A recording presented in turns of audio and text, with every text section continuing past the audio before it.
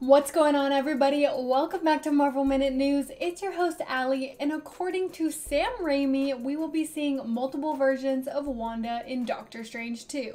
An article by comicbook.com states that director Sam Raimi says we can expect a lot of versions of Wanda in Doctor Strange in the Multiverse of Madness. He spoke to Fandango and they asked him directly if viewers will get to see multiple versions of Scarlet Witch in the Multiverse of Madness, and he confirmed that it would be the case. The latest trailer we got showed us a lot that we haven't seen yet, including Zombie Wanda.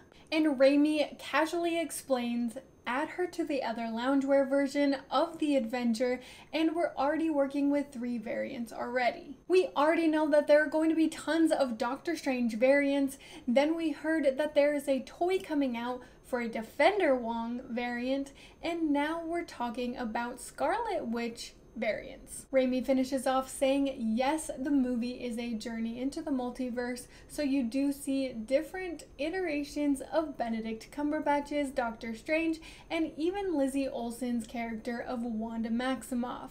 So the actors have to play that, and it's a great challenge for them and great fun to direct them playing these altered versions of themselves.